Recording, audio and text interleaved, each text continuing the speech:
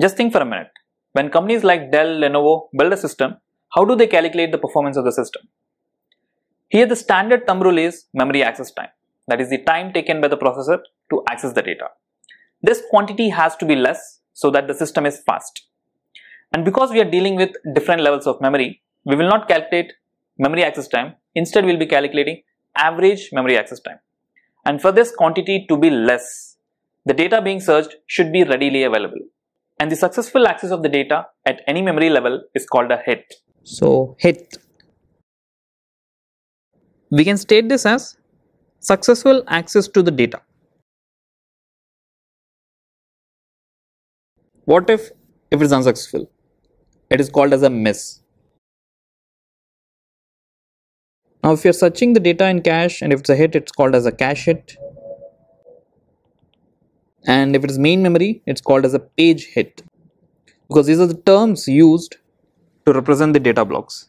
On similar lines we can say a cache miss or a page miss.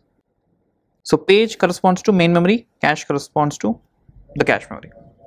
And one more metric to identify the successful access of data is hit ratio or hit rate represented by H where this H is the number of hits upon total attempts. Similar lines we can also define miss ratio or miss rate for this I'll use the symbol 1 minus h. This is number of misses upon the total attempts. To understand this, let me give you an example. Suppose the processor requests memory blocks with block number 4, 8, 10, 15 and 2. And let's assume that the first three requests are misses and the last two are hits. From this data, I can write the hit ratio as number of hits by total attempts. Here we have two hits. It is 2 upon the total requests are 1 2 3 4 5 it's 2 by 5 now how about the miss ratio it's 1 minus h so i can directly say 1 minus 2 by 5 this is 5 minus 2 by 5 that is 3 by 5 so either you can do it directly like that or even you can count it here we have 3 misses upon 5 requests. So that is how it is 3 by 5. Now what will happen if there is a miss? Now for this, let me show you the block diagram. Let's assume we have a CPU and there's a cache, main memory and auxiliary memory. Now when we switch on the system, the data from the auxiliary memory is actually loaded onto the main memory through an IO processor. Then the main memory can push the data onto the cache and from cache the data could be accessed by the CPU.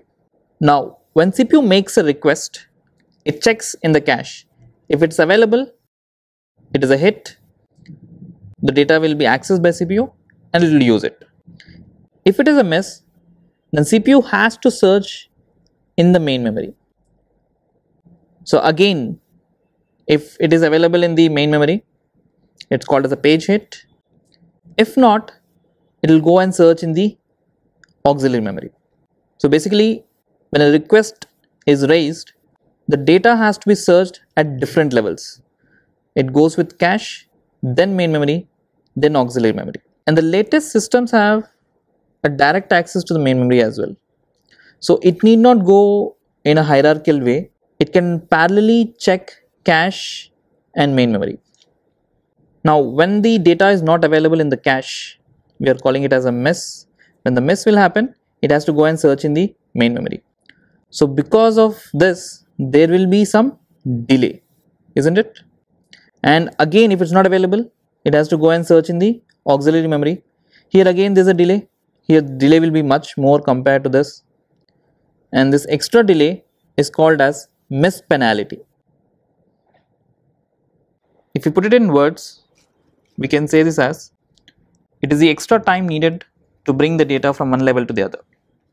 Now how do we calculate the miss penalty? Now there are two possibilities. Either the access could be a hierarchical one where request goes to the first level, if it's not found, it goes to the second level. Or or we may have a simultaneous access. In this case, the miss penalty will be different. So let's look at the miss penalty in both the cases. For this, let's look at the memory access. If the memory access is simultaneous, then CPU can access data from L1 as well as L2 at the same time. Here let's assume the time taken to access L1 is T1 and time taken to access L2 is T2. Now let's assume that CPU got a request and it has to search L1 and L2. Let the time instance be 0, so T is 0. In L1 the search will start, it will take T1 seconds. In the same instance, it is searched in L2 and the time taken is T2. And the time taken by T2 is greater than T1 because L2 is slower. Okay, let's assume that data is not found in T1. Therefore, data will be found in T2 in L2 cache. So here it is a miss. Here the miss penalty is T2. The reason is the search has started at T equals 0 and it has ended at this point and there's a miss. So by the time the data has been found, this much time has elapsed, that is T2. Now let's also work out for hierarchical one. In hierarchical, data is first searched in L1 and then if it's not found, it goes to L2. Let the search time in L1 be T1 and here it is T2. Now here in this case, the search starts at T equals 0. It takes T1 to search if the data is found in L1. If it is not found, then it will go to L2 and it will take T2 time to search it. So the search time in L2 is T1 plus T2. Therefore, the miss penalty is, in this case, it will be these both together. So T1 plus T2. Now, what if we have three levels? Some L1, L2 and L3. First one will take T1, the second one will take T2 and third one will take T3. Here in this case, the miss penalty for L3, it will be T1 plus T2 plus T3. In simultaneous, if you have three levels, T1, T2 and T3. For L3, the miss penalty is only T3 because the search is started simultaneously in all three cache. Okay, I hope you're able to make the difference between hierarchical and uh, simultaneous.